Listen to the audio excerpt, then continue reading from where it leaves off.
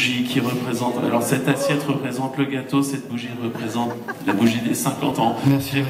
Et surtout, surtout, tous tes amis musiciens ont décidé de te souhaiter un joyeux anniversaire. Ah, d'accord.